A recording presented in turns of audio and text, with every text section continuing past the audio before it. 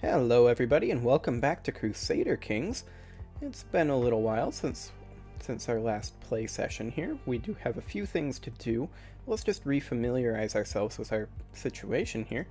We are currently 46 years old. Our wife is also 46, so any more children is unlikely. We are plotting to kill the Tannist, which is a Snedgus. We can probably go ahead and abandon that plot because I came up with a new plan to get Harley the 17th, this amazing guy, back in power. Look at those stats. And by back in power, I mean in power at all. We also have a lot of titles we can create, and we have the wrong types of holdings in our domain, all the way through Wales over here, because we have not adopted feudalism, which is going to be pretty much the first goal that we have in this episode here we are going to go ahead and save up for a Stone Hill Fort 4 so that we can get that going as soon as we can. And then we will likely... Hmm, well... That is exciting. This is the event where we can debase the mints with less precious metals for profits. Let's go ahead and do that. That gives us the gold we need immediately. That was very convenient. Move this right on down here. There we go. Upgrade our hill fort there. Now before we actually go to feudalism, we're going to want to spend down our prestige on these buildings as much as possible. So let's go ahead and take a look through here. We could get this war camp. That'll up upgrade to a barracks one and a city guard one. This will go to a castle, so it'll be a barracks one. This would upgrade potentially to a barracks 2 but we don't necessarily know that. Alternately, we could go ahead and get a militia training ground one when we upgrade there. However, I think our best bet would probably be to go ahead and get a barracks one. So we'll go ahead and do that. So there's our prestige relatively spent down, as well as our money. Now we could do one last tributary war, perhaps on Northumbria or Wessex. Wessex would be a good option here. They do hold Gloucester. Let's take a look at the De kingdoms here. That is that is part of England. I actually want Hereford to successfully secede from Mercia. I doubt that'll actually happen, but we can dream. Let's go ahead and do a tributary war on, on Wessex here. We can extort the tribute on them. And so we shall call in our various allies here. And our vassals. We have a good amount of personal troops nowadays. We don't have anything coming in from these holdings over here, but that is fine. So we'll go ahead and come down here. This High Chief, High Chief of Ulaid, has declared a claim on Rins. So he's going to go ahead and go fight these guys. That's fine, he can do that. And this guy just wants to give up. Okay, that's fine. He can give up. Actually, I, I do believe I just told him that we're not giving up. so that happened. We're gonna go fight him anyway, I guess. Well, hopefully this happens, and then we would have a nice hold on the th this crossing here. The only thing we would then need is Ebathon to hold all of these crossings. That would be excellent merge these guys together, and let's go invade Wessex. Realistically, we can probably move our Chancellor, since we have enough in Wales to create the kingdom title. We'll go ahead and start fabricating a claim on Ebathan up there. Hopefully he'll get us one. Let's see here, they have a 54k stack. That's really non-threatening. We're not going to even bother chasing those guys down. If that's all they have, we might as well just siege. Split this again. 492 men is going to be a little bit low, I think, for sieging Somerset. We'll just go ahead and bring in another 536. There we go. He does have a relatively large force there, but our tributaries are dealing with it. And they're gone. GG. Did they wipe that? They did not. 425, but they're attacking Mercia. That's fine. They can do that. The Pope is dead. Long live the Pope. And all of our vassals came in. Yep, yep, yep. Okay. We are at 80% war score here. This will tick over once a couple of these sieges happen. It's 96 right there, so once this siege happens, we can go ahead and send these guys home.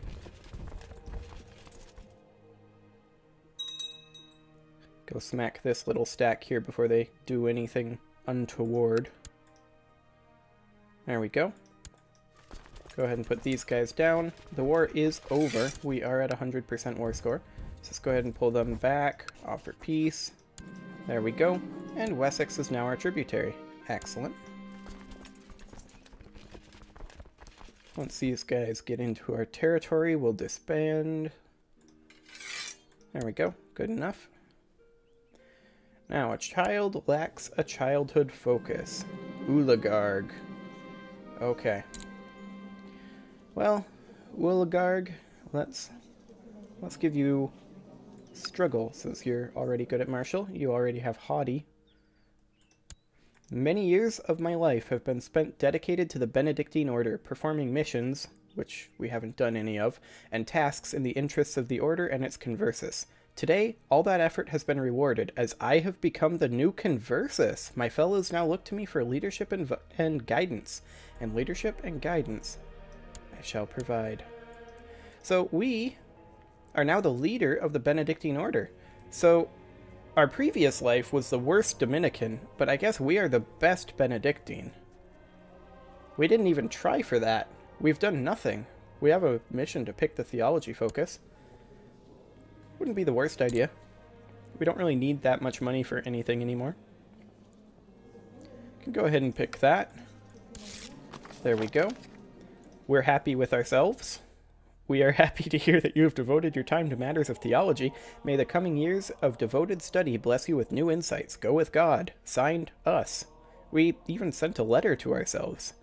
The Bible shall be our foremost companion. A hundred devotion. We don't really need devotion anymore since we're already the leader.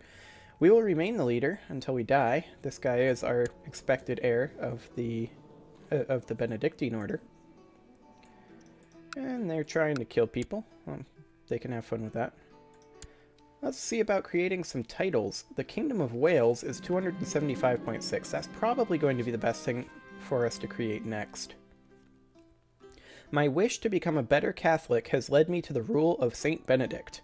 Once I used lies and deceit to get out of trouble and fulfill my desires. Following the path of Saint Benedict has taught me better. Praised be God. We lose deceitful. Okay. I guess we're a better Benedictine than we were before. After years of careful planning, this guy, from the court of this guy, has raised a large army of exiles, mercenaries, and hopefuls, declaring his intention to press his claim by force. Well, good luck with that. What claim are you pressing, sir?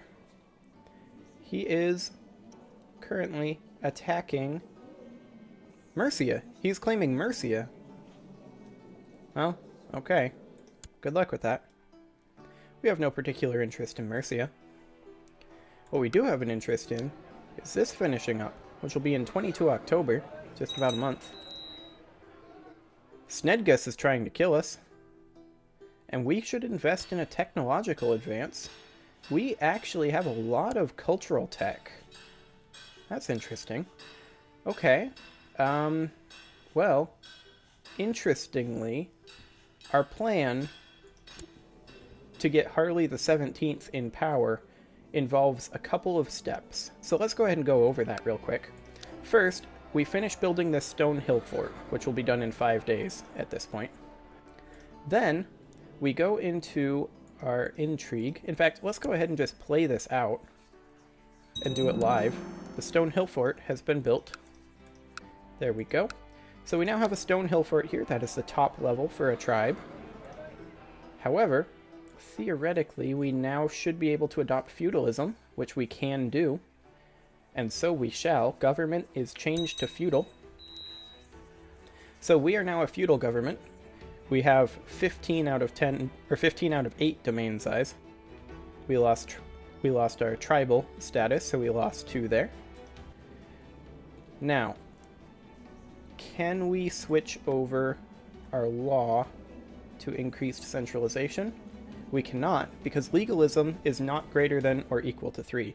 However, we do have the, the tech points to get legalism up to level 3, which would be nice. However, there is something that is actually more important to have legalism at level 3 for, and that is in our inheritance, we're now able to select ultimogeniture, except that we do not have late feudal administration. Now, to go to late feudal administration, we also need legalism level to, th to 3. So we will go ahead and take our legalism up to 3. And we will now go to late feudal administration. However, everyone doesn't like this on our council. So we're going to have to bribe some people here. Let's take a look here. We have six members of our council, so we will need to bribe three of them. And none of these guys are particularly good targets. I, this guy's okay, Chief of Osraige. This guy's just the Spy Master, definitely not Harley. He's probably going to be pretty cheap. Yeah, 15 gold. Well, that's for opinion increase, in fact. What we need to do is we need to buy a favor. But that's 200 gold. How about from this guy? That's 80 gold. That's a relatively cheap favor. How about this guy? That's 80 gold. We can afford that. And we are a little bit low on funds. However, we could owe this guy a favor. Hmm. He wants 200 gold. This guy's only 68 gold. He'll accept it. We may go a little bit into debt here. We got some city holdings finished constructing here. We'll need to handle that. We can't hold cities personally because we are feudal lords and we need a mayor for that. So we'll go ahead and create a new vassal for each of these new cities that were built. Like so. There we go. That brings us down to 10 out of 8. It says 10 there, but it just hasn't updated yet. We'll need to get rid of a couple more of our holdings. The best way to do that will probably be to get rid of some of our Welsh holdings. But for now, let's go ahead and tick forward until we have an idle council member. Ah yes, because we switched over to feudalism, we can now have these guys researching tech, which is probably going to be the best option. This guy is proselytizing? Where is he proselytizing? Ah, yes, that is correct. These these are still Waldensian. Okay, we still want him to do that then. Our domain size is slightly too big. Let's go ahead and take a look here. Everyone is still opposed to that.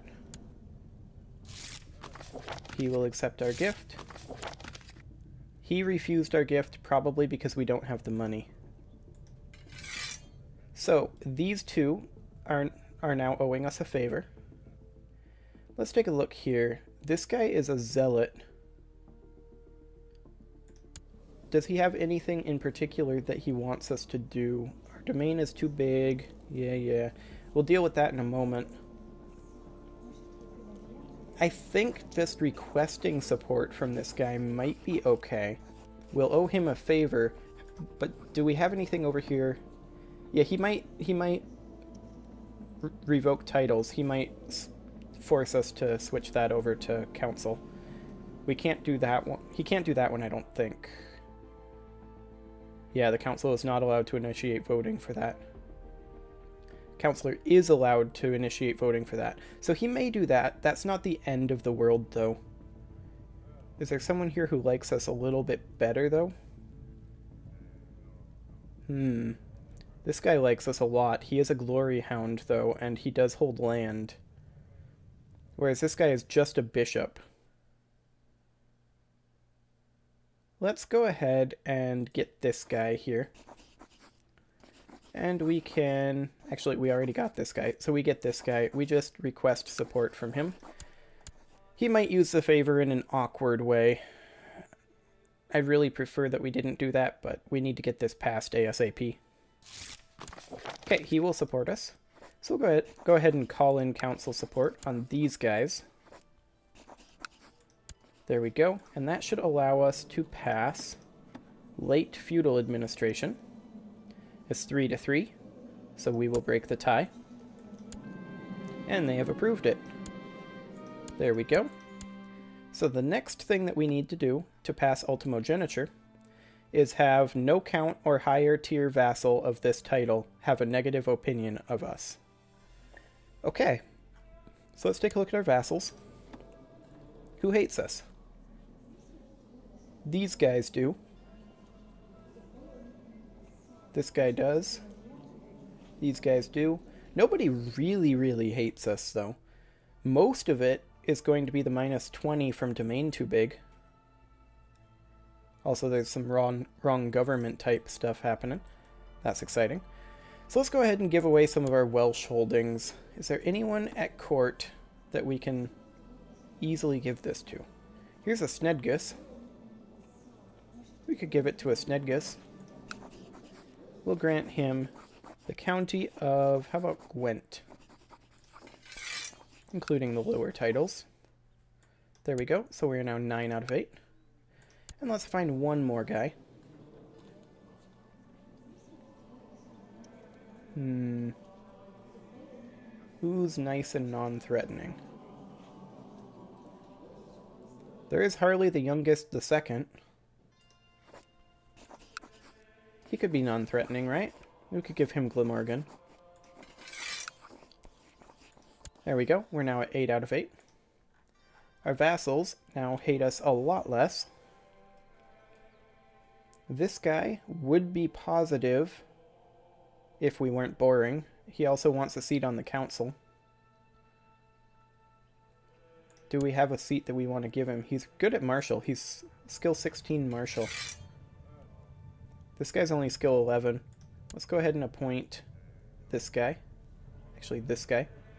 Harley, Earl of Perfeddwlad. There we go.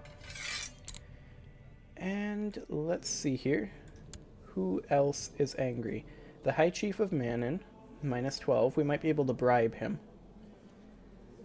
I don't think a mayor actually matters, but this guy's a High Chief, so he actually does. We could also just give him an honorary title. He could be... He could be our Master of the Hunt. He's still at minus 7, actually, so that did not do anything useful. We can send him a gift.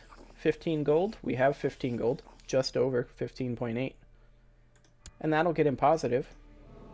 And now, we can go to Ultimogeniture. There we go. And Harley the 17th is our heir. Look at that. Absolutely excellent. We need to get him married. We need to get him married to She's a pretty good option. She is a homosexual, so there is that. But it should be fine. He is a genius. Do we have anyone else who's a genius? That's a nice genetic trait to have. Let's see here. We should be able to search by traits. Genius. There are no geniuses. Okay. We'll sort by title then or rather by rank. Now she's the Countess of Suffolk. That's interesting. It's very interesting. Let's take a look, actually. Where is the fine title? Suffolk. Right there in East Anglia. Okay. Let's take a look at this. Agnatic Cognatic Gavelkind. That's intriguing. She is 33, which is a little bit unfortunate. She's a little on the old side. She's a countess as well, in her own right. She's 17. She's Italian. Ah. On Sardinia. Interesting. Let's do it. She's on seduction focus. That's exciting. She wants to acquire a title. However, let's go ahead and marry her to Harley the 17th. She has decent stats. And she comes with a title. She will marry here. She would prefer a matrilineal. However, her opinion of us and prestige effects are enough to make her accept this. So eventually, we're going to have an awkward little province here in Sardinia. That's going to be fun. She should accept that. Harley the 17th is our heir. Absolutely excellent. According to our Chancellor, this guy right here, the peasants of Turnalwig have started a delightful tradition where the peasantry from several villages meet up and dance, feast, and pair up for future marriage. By promoting this tradition, he believes that the county will develop a strong local culture that will attract more peasants. A peculiar tradition, we would lose 12 gold, gain 25 prestige. At this point, prestige is a lot less important to us than gold since we adopted feudalism or I will not waste my money on such nonsense. Local tax modifier of 15% for Turnalwig. I don't think we're actually getting much from Turnalwig. Yeah, not particularly. Let's not waste our money on that. And Harley the 17th got married to the Italian woman. Excellent. That should keep them busy for a while. Middle Francia is actually not broken yet, although it is losing little chunks of Brittany. That's very interesting. We could potentially make use of that. Oh, that's Lintswinda died. She was the husband to our father, which was of course our first character. And this up here appears to be going relatively well. Let's see here. The Ulsturian claim on Rins, 69% in favor of, uh, of us over here. Our vassals are pressing that claim. Very nice of them. And we are making a lot of money, 11.76 gold a month. A son was born to Snedga and Chief Manchin the Lecher, named Leidson. Okay. That's fine. Hope they have fun with that.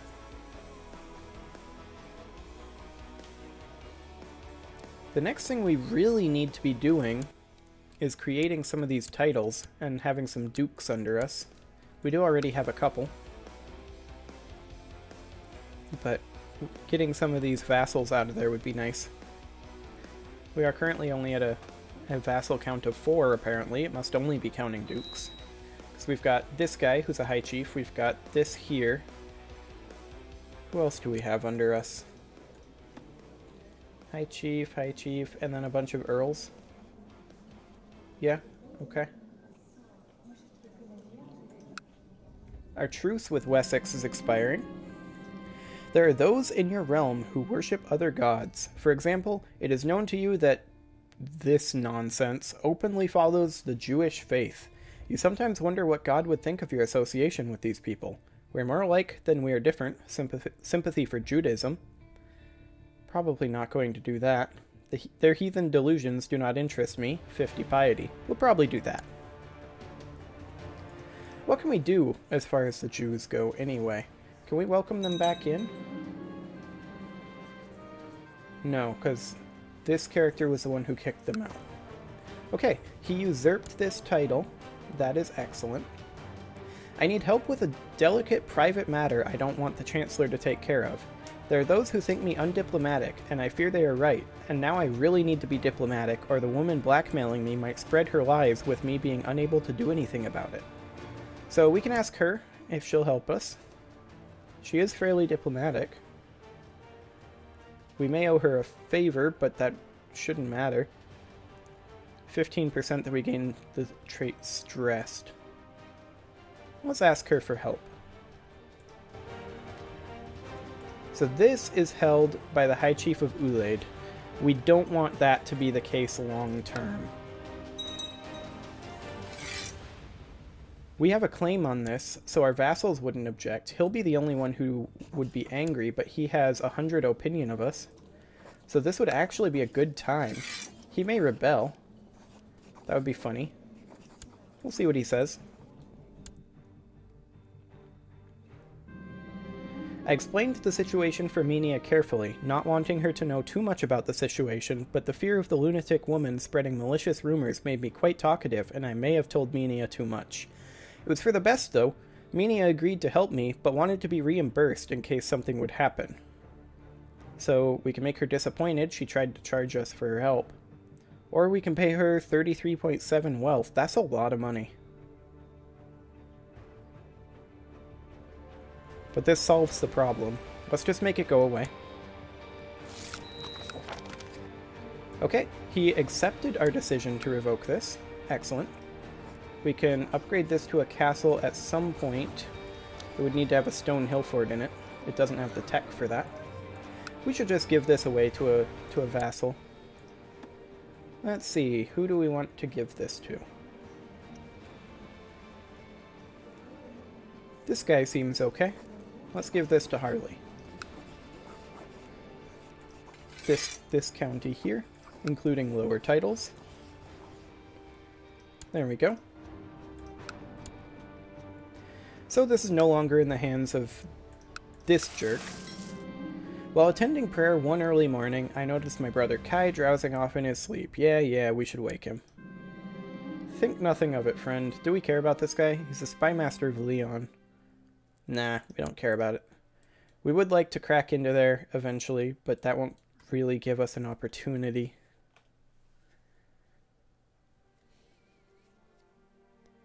So what claims do we actually have? We have no claims currently on anything that we don't hold. We've pressed them all. This revolt is going interestingly for Mercia. War score 32% in favor of the revolter. What are they actually attempting to do? Earl Offa's claim on Mercia. Okay. They're just trying to change the leadership over there.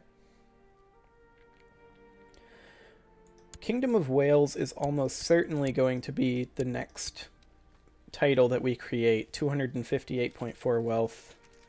We have the piety for it. We just need the wealth. Hello, what is this? Prince Harley of Air has declared a claim on Ch on Chester. Okay, so our vassals are continuing to grow our territory over here. This is fine.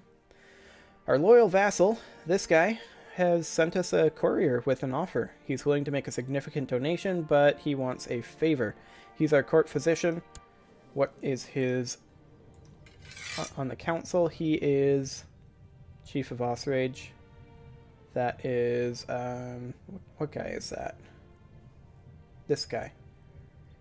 He does currently return owe us a favor, and he's returning it. Um, he he is a pragmatist, so there is that. 200 gold. He's just trying to gain leverage. Let's we we already owe a favor to this guy. Let's let's not have another council member that we owe a favor to. According to our marshal, Harley MacHarley, the peasants of Dyfed are having frequent troubles with highwaymen and wild beasts. He suggests constructing a series of outposts along the roads of Dyfed. The peasantry would feel much safer, and it might even lead to more peasants moving to the county. A safe peasant is a productive peasant. Minus 5% revolt risk. I don't think they have any revolt risk. They do not. The prosperity increases, though. That would be nice. They're currently prosperity level 0. There is no prosperity there. Let's go ahead and do it. It'll lose us a little bit of money in the short term, but in the long term it should pay off.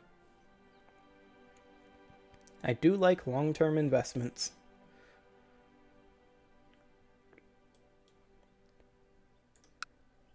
Carrick is currently held by Northumbria. Okay.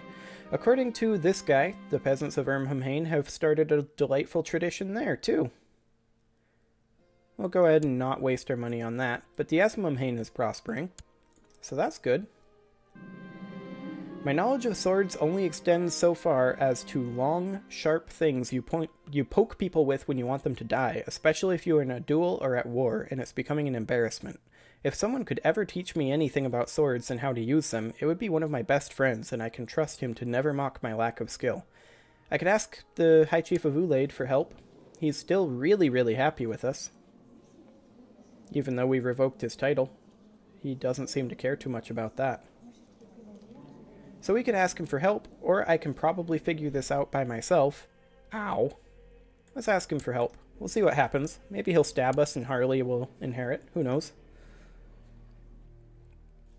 However, I do think that this is a good time to put a cut in here. So, next episode, we will probably be maybe looking to go to war with Northumbria. But we will certainly be strengthening our position here, and until then, I will see you all later.